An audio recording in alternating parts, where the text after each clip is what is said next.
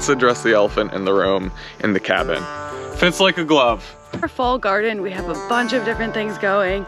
Something you don't really think about when you buy raw land. Oh, mailbox. And time for some projects, baby. Get going! Go and get going, babe!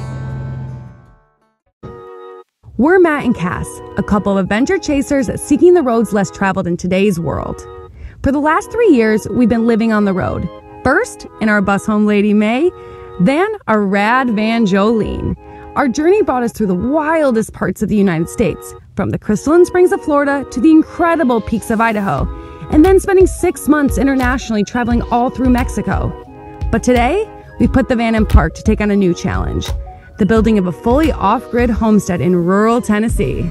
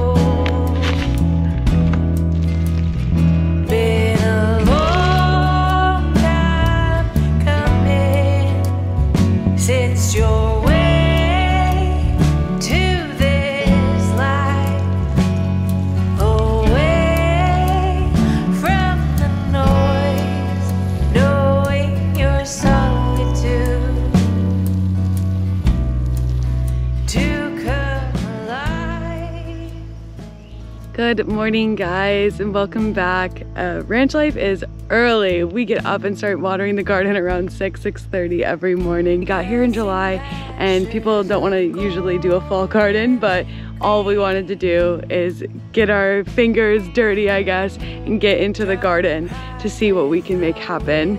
And so far, from the beginning of our garden, I'm not too mad about it. And from the recent stress and chaos with the cabin, all we wanted to do was focus on this garden to remind ourselves exactly why we're here and doing what we love to do. So I'm gonna go over there and give you guys a little tour.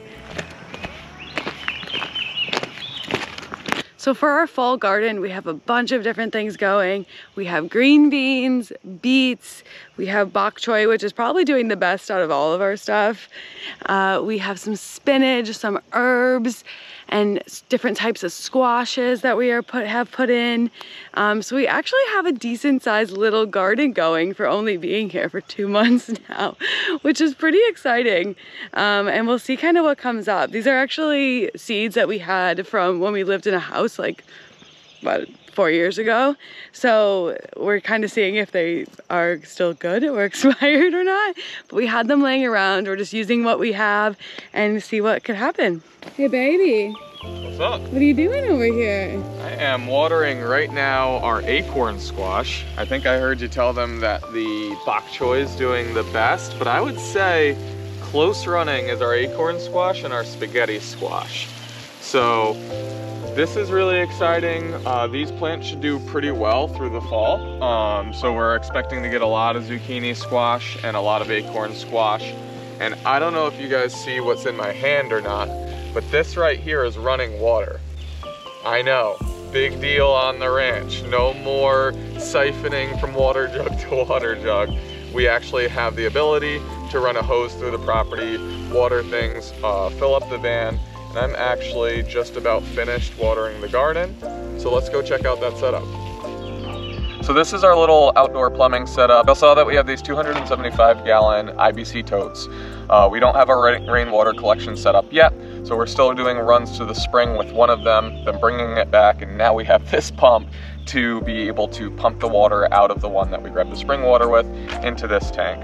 Then we have a non-collapsible hose that comes out of the IBC tote. That's important because this pump is sucking the water through so it can't collapse in on itself.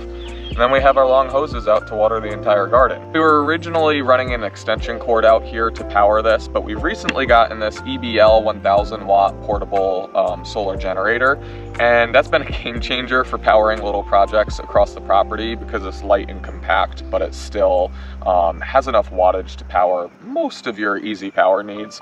Um, but it's been a lot more convenient in the morning rather than having a 100 foot extension cord running out from the van to just grabbing this guy, plopping him down, plugging in the pump, and having our 75 foot of hose to water the garden wherever we want it. We actually have a discount code uh, below in the description for this guy if you want to check him out. Hi, Bubba.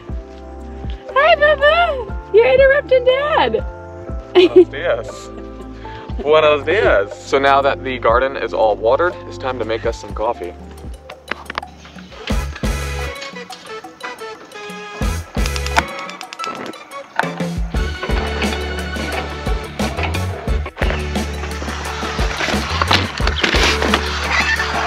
How's it going? Grinding some coffee. Hurry up, I'm hungry. Or thirsty. You're the one cooking. I know, but we can't eat. I think that showed you actually just need caffeine, huh? I do need caffeine.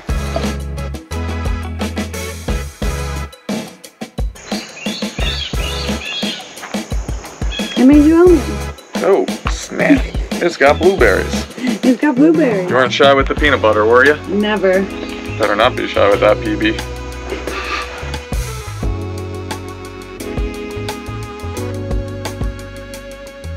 Address the elephant in the room in the cabin. So we have just kind of taken a break from stressing on that and like Cass said, just going back to the point of why we're here, focusing on the garden, focusing on projects like that. That being said, we really want to thank so many of you for reaching out and trying to help. The support that we got was really, really overwhelming. Um, we got thousands and thousands of comments on that video.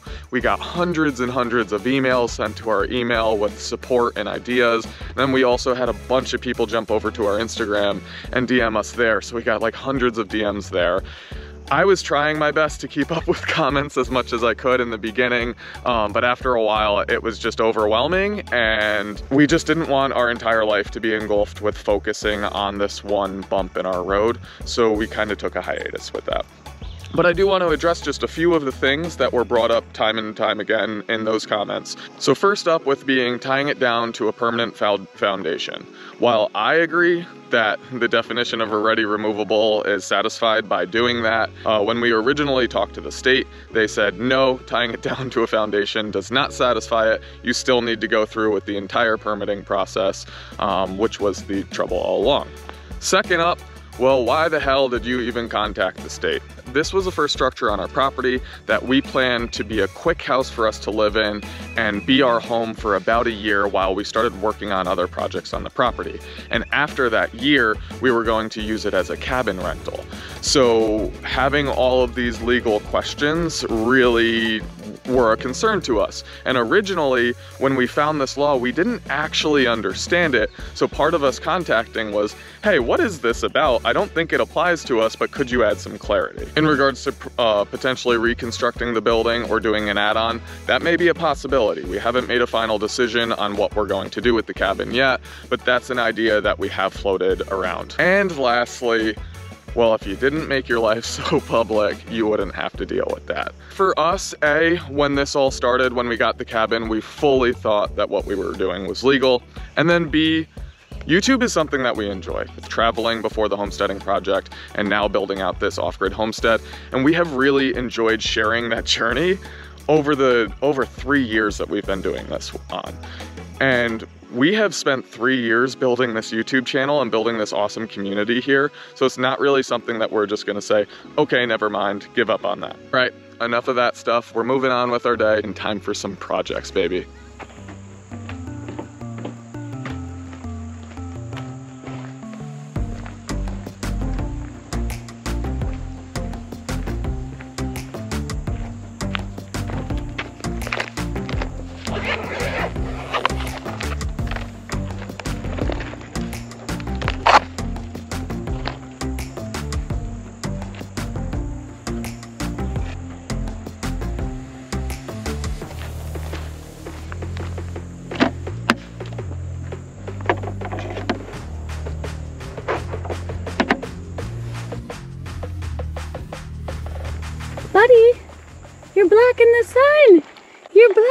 Solar. You're blocking our solar. He always does that. He likes to like sit right in front of these panels. I don't know why. Him and Fogarty, they love to sit right in front of them and just take in the sun, just like our solar panels. Hi, honey. Hello, hello. What are you up to? Well, I just finished dropping the oil out, swapping out the oil filter. So just finished up with the oil change on the truck. I just got to put the new oil in, and we should be good to go. Ugh. Jolene sits a little higher. I refuse to get jack stands out. and in hindsight, maybe I should have. There's nothing like scraping every part of you across your gravel driveway with just a few inches above your head.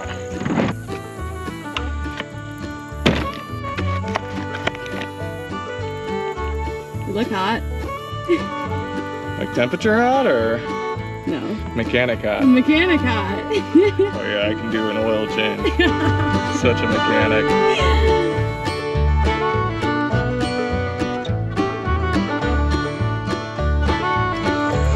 So throughout all of our social media platforms, we have been showing off our wildflowers here that we had no idea existed until they just started popping like crazy. They're these like bright yellow, amazing flowers and they're everywhere, literally everywhere on the property. It feels like, like follow the yellow brick road, like that kind of vibe, like coming into the Runaway Ranch. They're like seven or eight foot tall, so they're huge. We actually looked them up. They're called swamp sunflowers It's kind of like the, I don't know, what do you call it? The, it's kind of like the common name um, for them, but they're really, really beautiful. And if you actually like, put your head in here, you can hear the bumblebees just like, like so crazy. So we've been talking, like maybe eventually we'll get a little hive. We'll do a little like beekeeping, um, which is something we didn't expect we wanted to do. But now with all these flowers and all these bees, like they're gonna love it.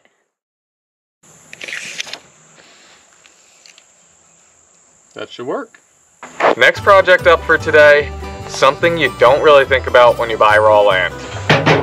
You need a mailbox. Our mail is gonna be delivered at the main road, which is almost a half a mile away from the beginning of our property. So we got this bigger uh, locking mailbox that has kind of like a mailbox hatch that will allow some of our Amazon packages to be delivered. But for now, this is what's gonna do. So I got my 4x4 pressure treated post. It's a lot cheaper to build one yourself than to buy one of the pre-made ones. So let's get building. Message needs a dove, and everything grows with a drop of love. We're all hanging on to that nail. It's a rocky road, this pilgrim trail. Pilgrim trail, pilgrim trail. Sometimes heaven, sometimes hell.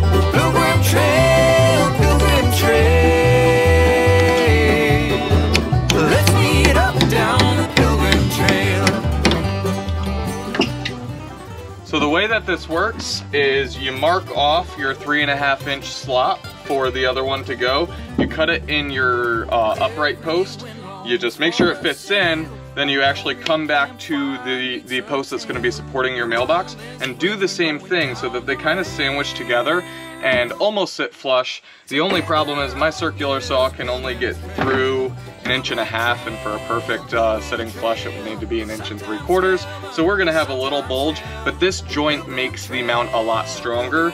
It also allows you to use a lot smaller screws when you go through this rather than needing like six inch screws to go through all this. It's gonna be going through an inch and, or almost two inches of wood into here. All right guys, moment of the truth here. We have our slot cut on the cross post and the vertical post. Let's try to fit them together.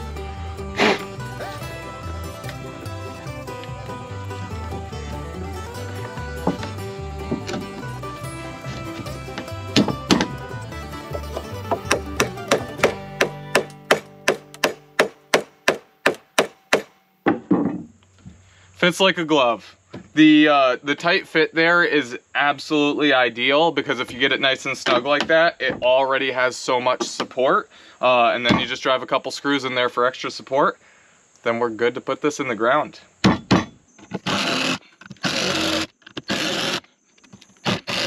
Honey, you're cleaning up. I'm cleaning up. I always clean up. Always clean up. I always. Whoa! Is she talking trash? I'm talking trash. She's talking trash.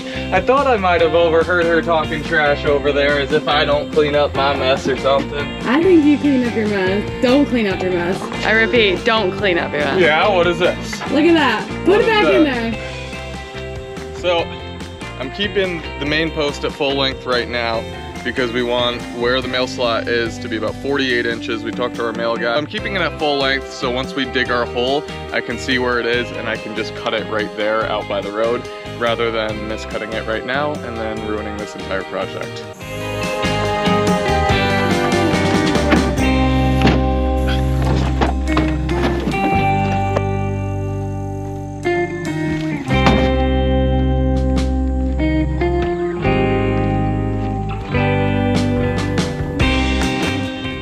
What a potato looks like. Not a dog, but a starchy potato. He's such a potato. He's out? Unfazed. Unfazed. Oh, he stretched. Oh, big puppy Oh. All right, puppy dog, you stay there and rest up. Dad's gotta get back to work. You relax though. Take it easy. Don't work too hard. He literally never works too hard.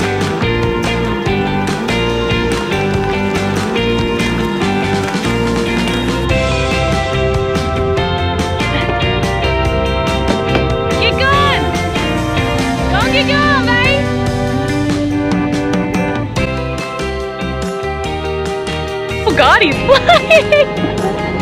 Feels like he's going fast back here. Y'all can see our wildflowers like down our whole road just coming up. Like, how amazing is that? Like every day we get to just like pull into this like wildflower jungle. It's awesome.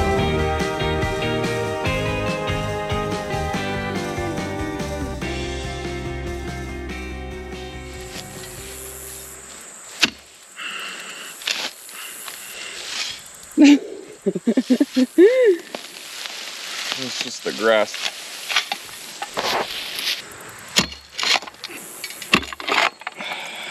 Can I try? Yeah, you can try. You can do the whole thing if you want. I don't want to do the whole thing. I just want to try. I've never used this tool before. drive it down as hard as you can into the hole. Like this? Yep. Well, no, you keep it open. Yep. Drive it as hard as you can. And now spread open. And yep. No dirt. There you go. A little bit of dirt. Rinse and repeat. Wow, this is crazy. Yep. It's a lot easier if it's been raining because then the ground's a little softer. And the soil around here is already a little hard and rocky. That was a good one. That was a good one. There we go. Look at me.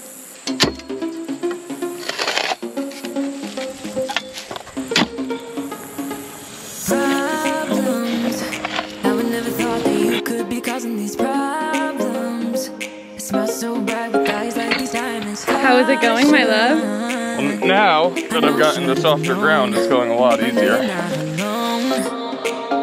don't wanna get in trouble. See where you stand. I don't wanna see you crumble. You're doing great, babe. recall what we meant. All the words you never said. All the questions in my head. Cause you're trouble, yeah. Take these. Yeah, you're trouble. Yeah. I had a little blister already and it just broke open, so I probably should be wearing some gloves. Gotta be responsible here. Gotta be responsible.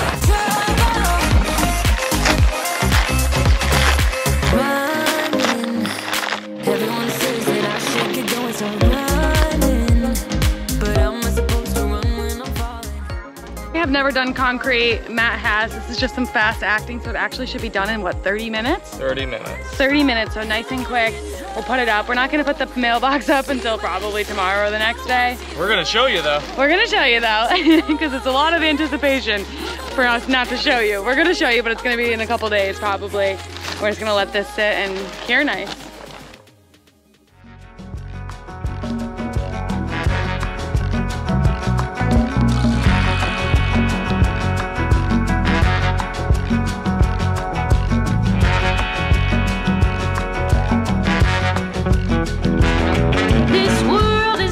We're walking back to the road because the cement should be done by now and to see how it is. We're not sure if it was a little bit taller than we wanted it to be, but I think it'll be fine. Um, hopefully it's not leaning because I had to work, so we had to rush back and just kind of leave it there in hopes that it was going to be all right, but I'm sure it was fine. But let's go check it out. It looks like it's straight. It looks good. Let's see how sturdy it is. It said 30 minutes. It's been much more than 30 minutes. Give her a little. Oh yeah. looks pretty sturdy. And the top is still like not buried in. I'll finish that tomorrow. Looks like the concrete settled up really nice. Still just like damp, right? Not even no. Yeah, so it's just setting a touch Just more. setting more. And I'll put some dirt to fill in the rest. Woo! Job well done. Wow. It She's looks the mailbox. good, huh? She's a mailbox.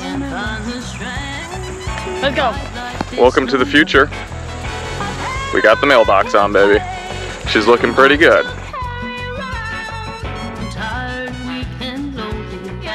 I don't know. Being weird. You're tired, huh? I'm so tired.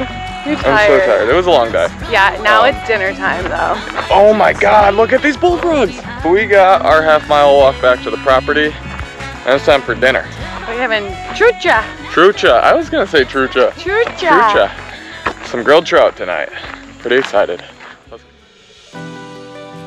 It's something about the evenings here, the golden hours that just like make you just like take a second to breathe, relax, to grab a cold beer and just like start cooking on the grill and it just like kind of all comes together. Like this is very much the beginning phases of our homestead, but it feels every time any stress that we've had, any anxiety that we've had between the cabin and the heat and whatever else just totally disappears as soon as these evenings come.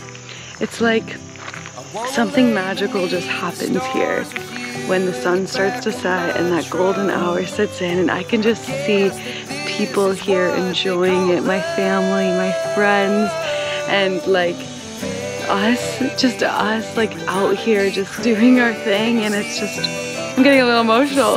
it's so silly, but it's like we worked so hard to be here, and we keep continuing to work so hard every single day to make this our dream, and every little, every day, like a little bit more happens, a little bit more happens, and then eventually one day this place is just going to be transformed.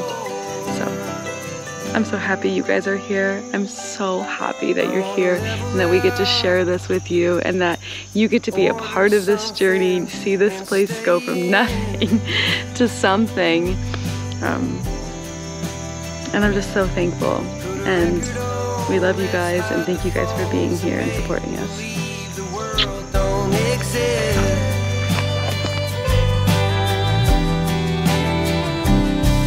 Let's pull up ties and take a trip to someplace new.